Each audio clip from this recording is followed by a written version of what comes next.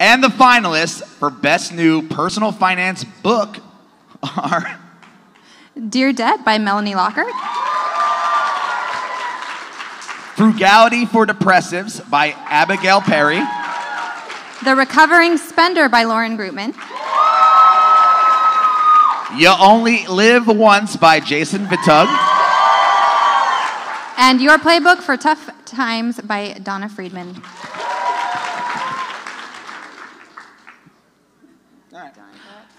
And the winner for the seventh annual Plutus Award for Best New Personal Finance Book is. The Recovering Spender by Lauren Greutman.